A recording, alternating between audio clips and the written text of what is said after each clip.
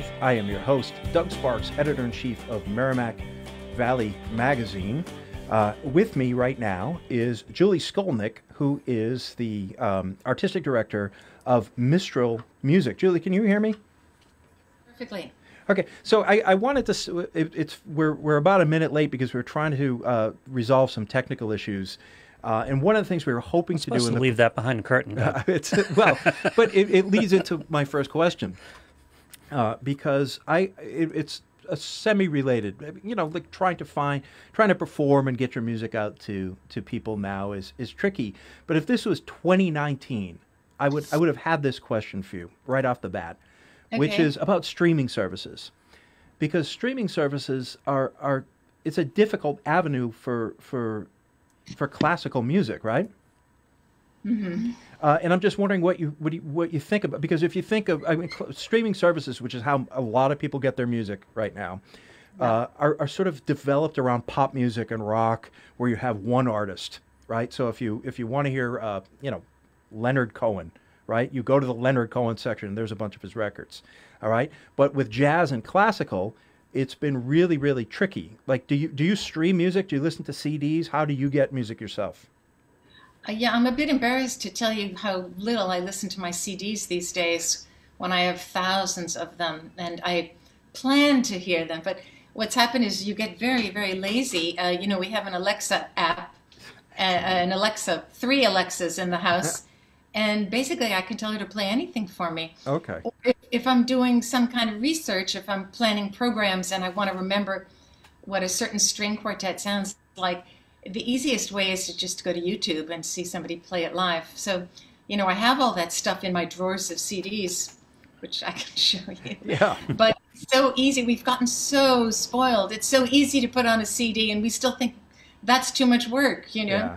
So yeah. I do listen to streamed music. Um, I listen to live concerts. At least I used to. Yeah. Um, nowadays, there is such a, a, a plethora of choices for the music lover out there. You know, everybody, all the music um, organizations want to stay engaged with their audience members, so they are making all their archive of concerts available and free to anybody who wants them. There, some people are trying to monetize a bit by um, saying, you know, if you want our live stream address, here's a here's a little link. You pay ten dollars, you get this whole concert. But it, right now, um, you know, the Metropolitan Opera, every, every so many different groups are just putting all of their past concerts online to be available to people. It's kind of overwhelming in terms of choices. Yeah. Do you like that? Do you, do you like watching on YouTube? I mean, I, I just kind of feel I, I, know, I know there's people like Glenn Gould who preferred recorded music and he didn't like the live experience, but you're losing something critical. God, you are losing 90% of what the experience is. I'm totally there for you. Oh, you know what? I wrote something down. I want to see if I can find it, if you don't mind. No, I don't. Um, I just wrote something down that I read because, oh, yeah, this is what Simon Rattle said. Uh, you know who Simon Rattle yeah, is? Sure. Famous British conductor. Yeah, and He's, you've you've been in the news with him recently because yes, you were, and you can you can go ahead. I'll let you run with yes. it. Oh, you just did. You really did your homework.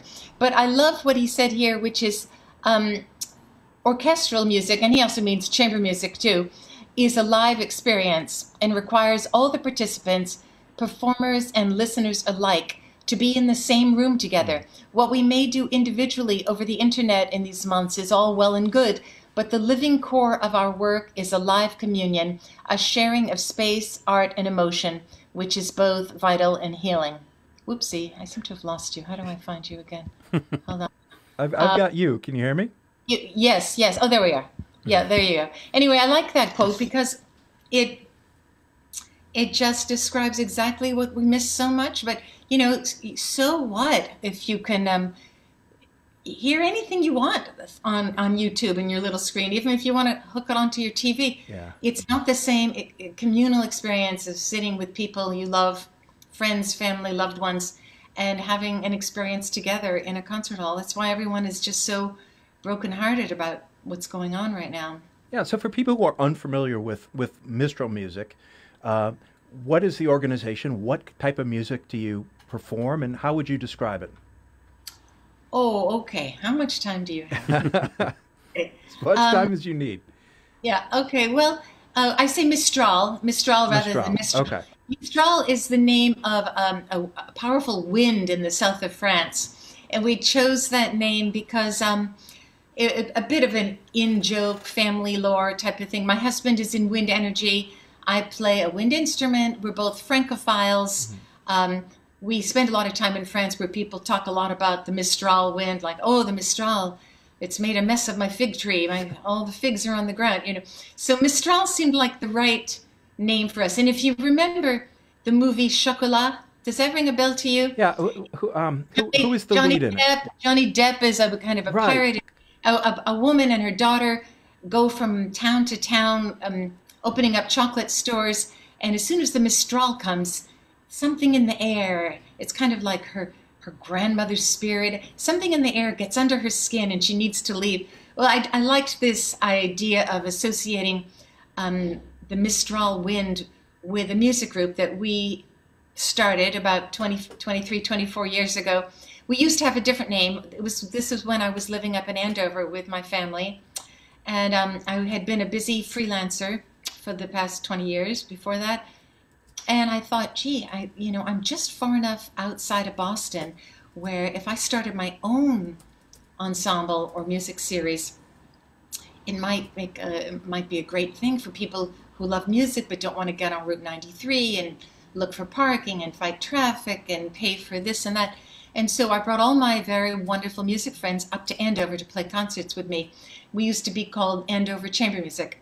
And then um, Mistral was always the name of our ensemble in residence, and that ensemble would be, be invited to play at various other venues. So Mistral was always part of our identity. But then when we moved to Brookline about six or seven years ago, um, the whole name changed to just Mistral Music.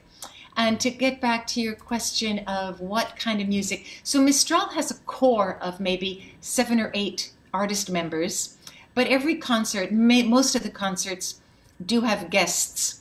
And so audience members will see many faces that they recognize from past concerts, faces they've come to love and know well. But then there will be new people, you know, like sometimes guests from the Boston Symphony that uh, my audiences are all excited to see because they've seen them in Symphony Hall, or guests from Chicago Symphony or New York Phil or the Metropolitan Opera or Philadelphia Orchestra. Uh, so right now, because I've I've been around, uh, I know a lot of great musicians the, all over the country, even in France. So I invite different ones to come be part of our concerts. And the main idea that I always want to get across in these concerts is that, uh, and, our, and our motto is unstuffy, unpredictable, unmatched. So we don't like the stuffy classical music concert we want to break down barriers. We want to talk to our audiences. We want them to have fun and not feel that it's a dead art where you're not supposed to clap or you're not supposed to, or where you're supposed to know so much about the music before you go. We try to get people to understand that we're just all experiencing something we enjoy together. For us, the the reactions that they give us are just as important as as what we're giving them and um, we couldn't do it without them. Just which brings us back to your original question about streaming and why live music is so important. And in terms of repertoire, we play just about everything. We span maybe, you know, four centuries.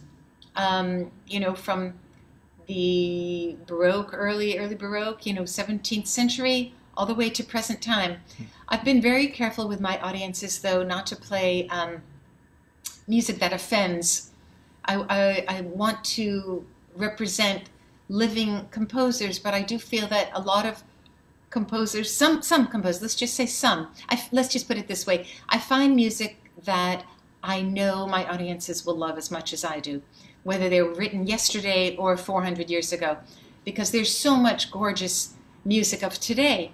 And some of the pieces that are atonal and very cacophonous, difficult to listen to, gives new music a bad name you know, there are some old timers who say, "Oh, I'm not coming to a concert if I don't recognize the names of every composer on your program," and that's just plain sad and wrong. But most of the people who come to our concerts have learned to trust me and trust my taste and know that I'm not going to force them to listen to something that's unpleasant to listen to. Yeah, so let's talk about that. I found that interesting. On, on the, I was mentioning before the show started that I was listening to a CD you put out with your daughter, who's also a musician, on the way up here, and it was very beautiful and it was very soothing. And I was going in and out of parts of um, I was going in I was going under and out of the rain clouds as it was happening and it was this really exquisite soundtrack to my to my commute up to the to the podcast studio. Um, in you know it just it just felt very like the music just felt very intimate. There was complexity. There was it, it wasn't it, it, wasn't lulling me to sleep but it was very beautiful. And I, I do think a lot of times people struggle contemporary audiences struggle with new music because of the dissonance. Yeah. Because it became so academic or so. I, I, I, don't know avant-garde or something but mm-hmm. i also wonder if there are composers out there now who are bucking that trend uh, it oh, seems like a lot of the minimalists are creating music that's very very beautiful uh, and then people like Max Richter. I don't know if you know Max Richter. There's there seem to be there seem to be some young European composers that I know of, and I don't I'm not too deep in that world, who are making very listenable music that also has depth. Oh, there's hundreds. Thou- I probably could say thousands. Hmm. Absolutely true. Um, and we program a lot of it too. We, you know, we, and there were Boston composers who are fabulous. Um, it's just we have to teach audience members that music written today can be beautiful. That's all I like how I like to think of it. You know, and it's not it's not all dissonant. It's um it's tonal music. I don't I don't I don't listen to atonal music. Why would I? You know, I don't I don't do anything just because I think I'm supposed to. And I also don't program atonal music just because I think that my peers will respect me more. I, I want to give the composers of today a voice in this world that of course we do and not not just to be nice but because but because their music is so valuable and and um, you know these new sound worlds will bring you to places that the old dead guys cannot bring you to. So you just have to educate yourself and and you know um, bring that music to the masses so they understand. Even even even you know every major orchestra is programming music of today. Every chamber music group is programming music of today as well. Are there any composers, any big name sort of canonical composers that you don't care for and that you avoid? Ma ma ma ma ma. Well, I don't know if. Um, gee, that's a very good question. Are you talking like out of the main yeah. ten? You know, Beethoven, Bach, Mendelssohn. No, no, I can't say that any of the great greats are. I love them all. I love them all. I mean, um, you know, what can I say? There are some B, B composers that I don't program, and by B composers I mean people like Reicha. There's a lot of flute composers. They're just if I have a choice, I won't I won't program because music not, why is that? Not, not, a lot of depth, not a, not beautifully composed, not not interesting enough, that kind of thing. Yeah. Um, too cutesy or too too corny or you know stuff like that. Sure. But all greats, but you know Debussy, Ravel, Shostakovich, all of the Russians. I mean, there are so many. The main problem for me in any given concert is um, limiting it to two hours. You know, people like short concerts, but it's really hard for me to keep them short. Um, every now and then, it'll it'll be uh, you know about an hour and a half, but most of them hover at around two hours. And if the intermission goes a little long, then it's a little over two hours. Yeah. Um, but I know people like short concerts, so I always I always try to remember that nobody Although there are some pretty diehard fans who would sit there for four hours if we kept playing for them. Sure. Know? So I, I, wanted to talk to you about your, your programming and how you put the programs together. And I also wanted to bring in this literary component because it seems to be important to to the way you put the music together, right? Do you have a background in literature or is that just part of this overall interest you have in, in French culture? I'm so impressed that you did so much homework. Thank you. Um, uh, that's a fantastic question. I think that one of the reasons I love having my own baby, my own series like this, is because of the creative outlet that it gives me to do just the kind of thing that you're talking about. Um, I do happen to have a degree in French, but that's hmm. just kind of beside the point. Not on purpose, you know. Um, when I went to college, I was one of these people who I had first gone to Exeter for my high school years, and I, I kind of learned to be hungry for more than just music. So I didn't go to a conservatory when I was finished. I wanted to learn about the world, the li- life, and of course, a lot of it was literature, French and English, and all that kind of thing. So when I did spend a year in Paris, and I my, learned about Proust for the first time, and and always carried with me the um, some of the things I remembered in Proust, his particular uh, affinity for describing the visceral experience that music has when on people when they listen to it, which is a very very difficult thing to describe, but he does it amazingly. Which is why we, at, at this point, after 24 years or so, we've had three Proust concerts. Yeah. And interspersed in those concerts are readings from his novel, um, those parts that describe a certain piece of music that he loved. And um, back to my own programming, I do like um, I do like the interrelationship of all the arts. I think that if I'm going to go to this much trouble to found my own chamber music series and ensemble, then I'm not going to just, you know, take the easy way out. And the easy way out, and this is not to uh, point fingers at anybody at all, but um, the easy way out is just to say, okay, for this next concert, I'm going to pick one Mozart, one Dvorak, and one Shostakovich, and that'll be one concert. And the next. So what I try to do is find ways that put programs together thematically so that there's something to people to sink their teeth into in terms of mar- and for us to sink our teeth into when we're marketing it. That's why we give all of our concerts um, titles um, over the course of those, you know, 24 years. All my concerts have been um, thematic, which is, as you know, not that easy. Sometimes not that easy, and sometimes I find myself in a box. Okay, this leads right into your into your question on how I think up um, programs. But sometimes what happens is that I will think of a certain piece that I want to do, and then I think of other pieces that might go well with it. And sometimes it's a question of, oh, I have to hire a trumpet for that particular sextet, so I don't want to just bring him in just for that piece. So I'll let him also play this piece, and and this piece will go with it because it's also about the blah blah blah. You know, so it's always a question of how to find pieces that work well together, and not just um, the the other easy way out is to just say, oh, this is going to be all English music or all Russian music or all French music, which I have been guilty of doing myself over the years, but we I try to avoid it. You know, sometimes one of the ones I liked a lot. Um, oh, the reason it was so great to do a Proust concert is that Proust writes about so many different pieces that have nothing to do with each other. So Proust was my connection to all this. He loved Beethoven string quartet in particular. He loved Franck, so we did the Franck piano quintet with that. He loved Debussy, and we did a Debussy trio. So those three composers already are entirely different, but we were able to put them together in the same program just because Proust connected them all. And we could, you know, read things from the books that that scholars have decided were about the Franck Quintet or about the Franck Violin Sonata and that kind of thing. Yeah. So, what are you pulling thematically out? In, uh, I'm going to assume that, that not everyone, believe it or not, who's who's listening now has read Proust. Have you read the entire novel, by the way? I have not. You I'm have sorry. not. And by the way, this is this is uh, this is typical. Even some very serious Proustians, people who who like to study and read Proust, haven't read the entire book because it's so long. It's really like nine kind of novels seven. in one. Yes, seven. seven, seven. A la recherche du temps perdu. Remembrance of things past. Uh, Lou is going right to, now to Amazon on his phone to, no, yeah, to order. So, but what are the themes? I rely that, on you, Doug. okay.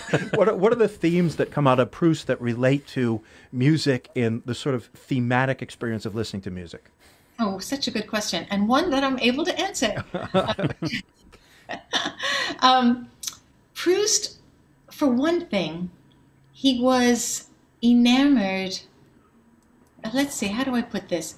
His main themes were childhood, memory, love, music, and heartbreak, mm. probably.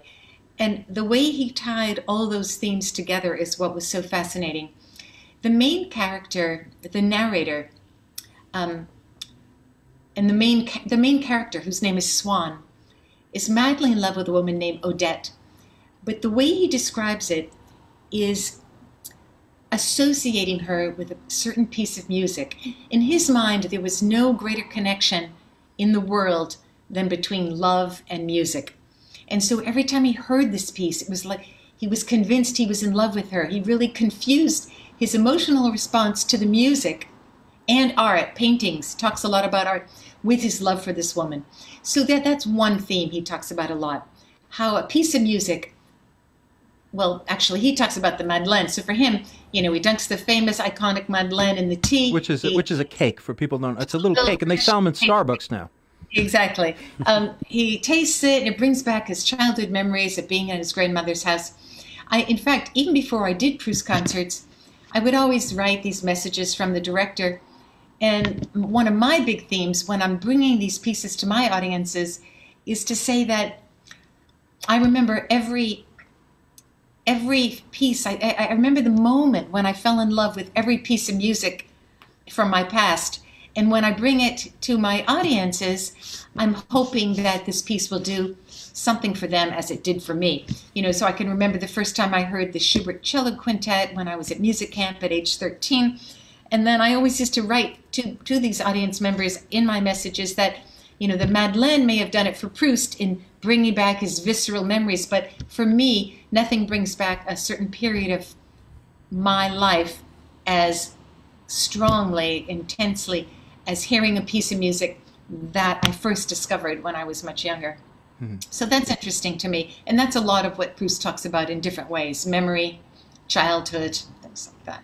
Sure. So 2020 must be a difficult year to put together. Well, maybe difficult, maybe exceptionally easy to put together a program because this is one of the most unusual years any of us has ever lived through.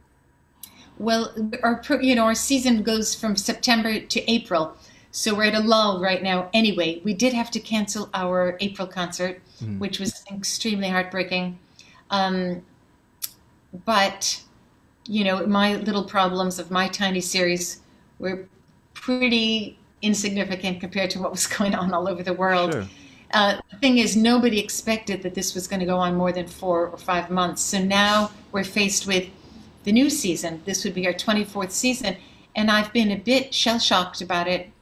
Um, I did almost have the whole season planned, but now I'm not sure I'm going to keep those programs. Hmm. Um, you know, my programs are always so involved and complicated, and I do posters and I do brochures and this and that. I think what we might do, and we're going to be discussing it with our board, is we will have five concerts, but they will be live streamed. Um, we will do them in our normal venue, but probably to no audience, or we may do it to 50 people sitting three seats apart from each other. We're going to have to send out some kind of doodle poll to see if any of our audience members would come, but I kind of doubt it. I think people aren't ready for that. At least they won't be ready till uh, January, February.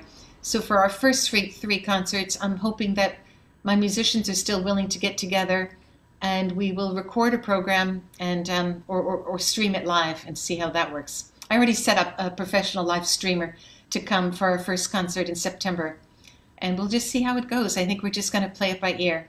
Yeah. So thematically, you, you said you were a little bit shell shocked uh, putting this one together.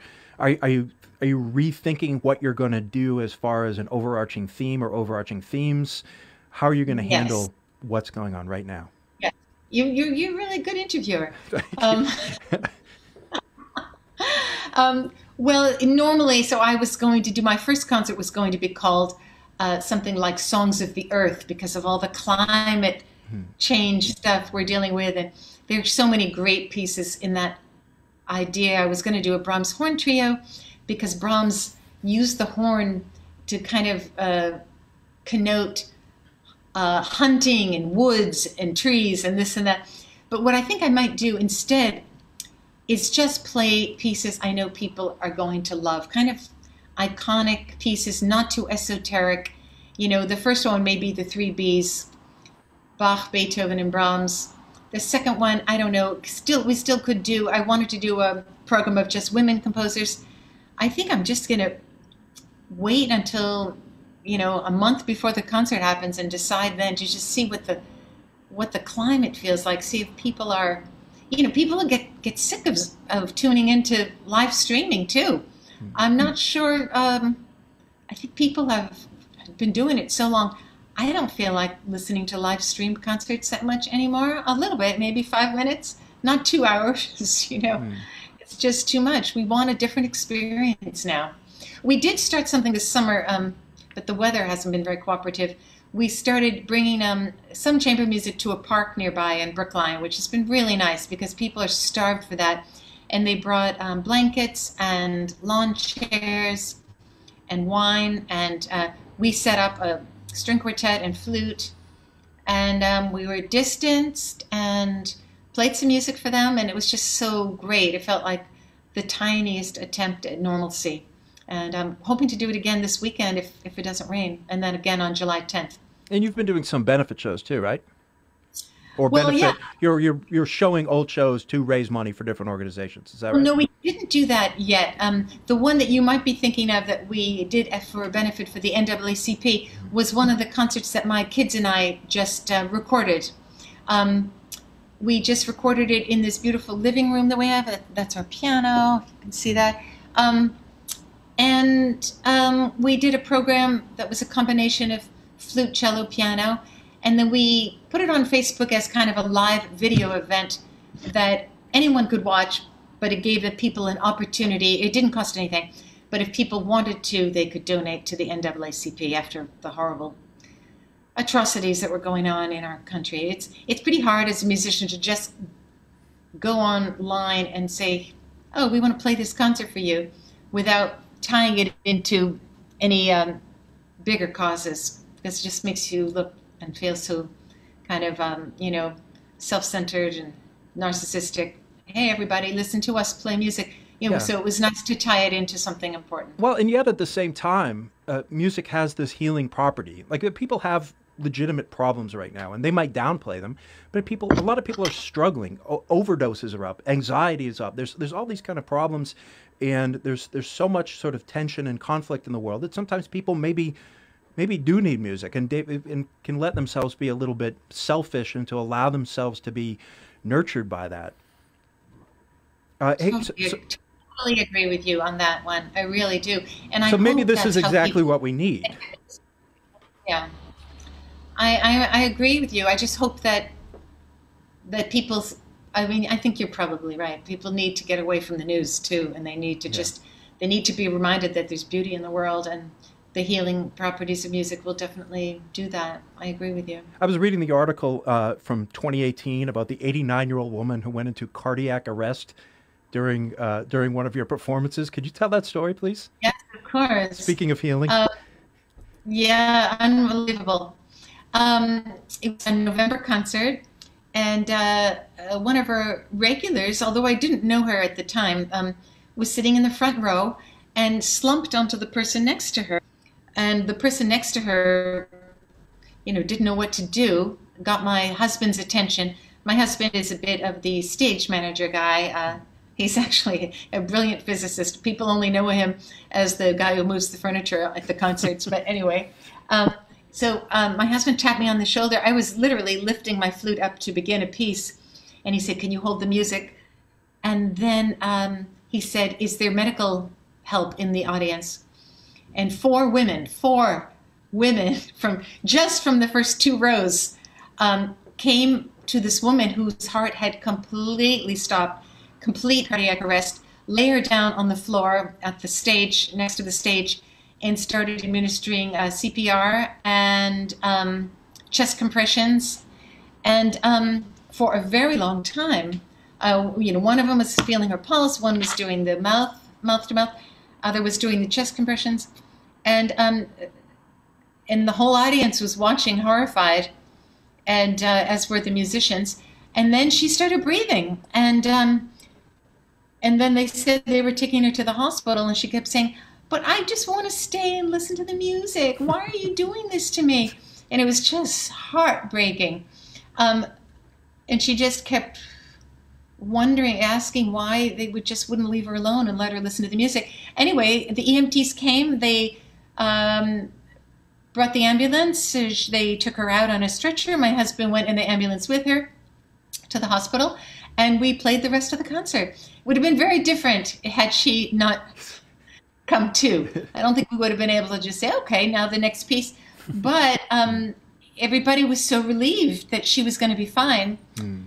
And, um, and then we told them what had happened, and we told the audience that anybody could save her li- uh, another person's life if they go learn the training. And then the next day, my husband and I went to the hospital, and I played some flute for her in her hospital room, which was really the least we could do. Hmm. And um, she was so appreciative. We made it onto the front page of the Globe, actually. so yeah, that's a story, and that, that gave us a new um, a new motto: Mistral. It'll bring you back to life. that's great. So I wanted to talk to you about a, a, a related, uh, maybe on the surface it might not be related, but I want to talk to you about music and arts education. Uh, mm. I feel that that music education in schools was sort of under threat before the pandemic. And I, I like you worry about what the state of music education is going to be going into next year and the year after that. Do you think about that? I have to admit, I I think about a lot of that stuff, but I'm not thinking so much about the music education, to tell you hmm. the truth. Um, um, I, am not even that aware of whether is music completely gone from the. We used to bring music into the schools in Lawrence, and still do that because they have no budget for the arts. Hmm. And we bring flute and harp or flute and some strings, and the kids have never seen any of this stuff. Um, I really don't know how to answer that very well, to tell you the truth. Um, it's concerning since, you know, the more kids are exposed to the arts, the deeper lives they will live. It helps in so many ways, you know, so so many ways to to have an education in, in music. Um, there are articles all the time by neuro neurologists about how the brain can benefit from from being exposed to music at a young age and all that. Mm. So, yeah. a, a, final question I have before I turn it over to Lou, because Lou always has a, a, question or two for the guests, is how do people access your music right now? Oh, well, we have a website. It's called, uh, oh, first of all, you can go to our, our website, mistralmusic.org, and that has all of our videos connected to our YouTube channel. Our YouTube channel must have dozens and dozens of videos people can watch entire pieces. I'm just trying to remember whether it's Mistral Chamber Music or Mistral Music. You can find us. I think it's Mistral Chamber Music on YouTube station. Hmm. Um, and then we have a Facebook page, which is it's we want people to stay in touch with us that way because um, we often post videos from past concerts. It's a way of telling people whether we're playing in the park or not, in, in you know with very little notice. Like this Saturday, in two days from now, we're going to play it in in the Brookline Park, and um, so the Facebook page is also Mistral Chamber Music. We do have Twitter and Instagram, but I don't know how to use those. um, I have as soon as I put something on Facebook, somebody else puts it on the other two sites for me. Facebook is all I could really handle. Sure. And, so, uh, for people who prefer physical media, and there there still are people out there, oh, I think they're in a minority. Yeah, yeah. Can you still buy CDs? Absolutely. We have some beautiful CDs. We don't push them. We don't advertise them. We usually just have them on a table at all our concerts. Hmm. I could probably make a big deal about them on our website if people want them. These days, you know, CDs are going out. Hmm. So we're almost just giving these CDs away. In fact, anybody who wants one of my CDs with my daughter, just contact me and I'll send you one. and maybe you could just tell people how to contact me. Okay. Can I give them my email address? Sure, go ahead. Yeah. So my email address is julscol at me.com, julescol at me.com. And you know, I'm not trying to make 10 bucks off each little CD I send out. I just want to get rid of this enormous box of CDs because nobody is buying CDs these days except some of the old people. Sometimes we have a CD giveaway at these concerts. Like I'll ask some little trivia question. Does anybody know how Lully died? You know, and the answer is that he was tapping the floor with his cane. This is 1600s, and he put it right through his foot, which turned gangrene and killed him. But anyway, so if somebody knows the answer to that, they get a CD. But what usually happens is they say, "Oh, sorry, I don't have any way to play this." So I say, "All right, give it back to so um, they are becoming obsolete. But anybody who wants one of my CDs that I made with my daughter, I'm happy to send them. Uh, obsolete now, when they when they change the laws around streaming services and when things, ch- mm. you never know. Yeah. I think there's still, I still uh, actually listen to CDs, and I like physical media. Yeah. And part of it's the sound quality. Like listening to a CD through two channel audio with a decent, it, it yeah. sounds so nice. It fills the room. It doesn't give you the same 3D quality of, of seeing it live in performance, but it comes a little bit closer. And look so, at the renaissance in vinyl yeah. recently. Sure. Yeah, yeah. Exactly. Good point. Yeah, absolutely. So, Lou, did you have any questions for? Uh, yeah, Julie, Julie um, I'm going to dumb down this conversation. I'm going to be that guy because it's kind of my specialty. how did? What's your relationship with a John Williams, and how do you feel about the fact that most of our connections, the Imperial March, is our main connection to classical music these days? Oh, how do I feel about John Williams? He's a genius. Yeah. I love John Williams. I mean, can't say enough amazing superlative things about this guy. His music is as good as anyone's music. I mean, it's not just Superman and Star Wars. He, he's written some gorgeous. Um, I mean, I don't know his chamber music. There were sections of these big orchestral pieces um, that are so beautiful. In fact, I'm so excited because I just discovered a an arrangement for three three strings and flute of Leia's love theme the one that's da da da da da dee da da. You know that really beautiful one. So we're going to put that at one of our next concerts. Um, we're going to bring it to the park if we can too. A fantastic composer. The world is going to suffer an enormous loss when he's when he's gone. Uh, we talked about uh, all the dead guys you referenced in the past and and, and, current composers and things like that. Is there any consistent and identifiable way to determine who is who. In other words, if I gave you a piece of music you haven't listened to before, is there modern influence? Can you say, well, that came from that came from the 20th century, that came from you know this century, or that came from the 1800s? Can you identify it through influences in society that society has had on these composers over time? All right. So, are you saying that could you put on any piece from any century and or are you saying? Um, In other words, if I played you a piece you hadn't heard before, would you be able to say that's a that's a 2000 piece or that's a 2010 piece because you identify the way society has has, um, so has influenced composer? A, a, recent, a, recent-ish piece. Yeah. I'm not sure I would be able to do that. Tell you the truth, no. Um, anything before 2000, maybe. You know, um, 20 years ago. Um, there's such a wide range. The the spectrum is just too too complex and elaborate to say that I would be able to identify anything. There are certainly people who might might be able to, but the, the range of compositions of today's composers is just so extreme. Yeah, is there is there a lot of cross pollination? In other words, if you look at uh, country music these days, there's some R and B coming in there, and even some hip hop coming into country music a little bit. Oh, yeah. All the musical styles are cross pollinating. Are things slipping oh. into classical oh. composition?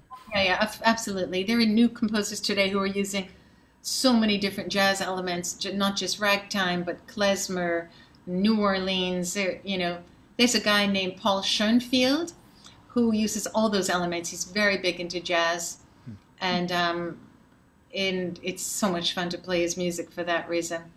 Um, there's definitely lots of cross pollination, like you said.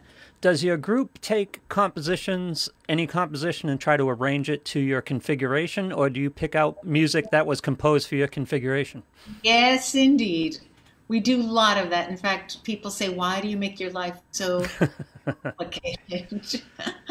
I am constantly cutting, pasting, Xeroxing, taping, oh, doing this kind of thing.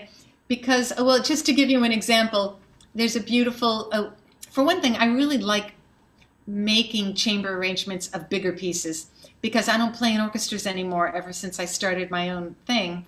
And I miss some of that repertoire. So, for instance, um, uh, the Chopin Piano Concerto, number two, a really, really beautiful piece that's very much like chamber music because it's very intimate. There are parts that sound like it was written for five instruments. Um, so I looked and looked and looked for um, a, an, a, an arrangement. I did find somebody who made an arrangement for string quintet and piano. And he incorporated all the wind and brass parts into that. But I wasn't going to let them have all the fun because in the original concerto, there were some really beautiful flute parts. So I wanted those flute parts back. So what I had to do, and I wanted the bassoonist to get his parts back. So what we had to do is flute and bassoon each took our own original parts. And when it came to one of those big solos, I'd say to whoever, whichever string part had it incorporated into his part, don't play from H to I. That's a flute part. So anyway, so a certain amount of work, but then we came up with a really beautiful arrangement, which you can hear on our YouTube station. But otherwise, sometimes we commission people to take a huge orchestral work and make it into a chamber arrangement, even something as enormous as a Mahler symphony. I found a guy in England who um, who was happy to do an arrangement of Mahler one for us, and people could not believe that you could take a piece of that magnitude and spread it over 13 players. I mean, it's not five players, but 13 players, including percussion and brass and woodwinds, and then five strings, and fill it out in such a way that we weren't missing a full symphony orchestra. And the beauty of that is that all the parts that do sound like chamber music, and there are many in Mahler, Mahler's music, really were chamber music. We were listening to each other and playing the way you do when you're playing a conversation in chamber music rather than watching a conductor telling us how to put this together. So, yes, we do a lot of that. And, and and I'm sorry. And finally, for me, if you are, are listening to, and I hate to use the term because it couches the conversation, something more mainstream. You're not listening to classical music. You're listening to something more mainstream. Who are you listening me? to? Yeah. Yeah. Oh, I uh, first to admit that. I um, when I get up in the morning, I want to clean up my room. I I ask Alexa to put on Ingrid Michaelson station. I like pop singers like that. I also like French singers like Maxime Le Forestier and Jacques Brel and all those guys. I love klezmer music. I love Ella Fitzgerald. I love Billie Holiday. I love Jelly Roll Morton.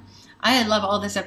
I it's a certain it's hard to explain, but when I listen to classical music, sometimes the associations are so um, are so personal and related to work that it doesn't take me away and give me the kind of relaxation relief that I'm looking for when I'm exercising or doing something else. So yeah, a lot of um, you know folk and, and pop music I do like, especially especially people like uh, you know Ella Fitzgerald and stuff. That's great. Well, I hope. I mean, as I said earlier, um, it's kind of the perfect day to, to listen to your music. I hope people go to the YouTube station and, and check you out and listen so they can hear for themselves if they haven't heard already, and uh, get on your Facebook page to find out what's going to be happening this fall. Thank you so much for, oh, for so joining welcome. me. It was really fantastic.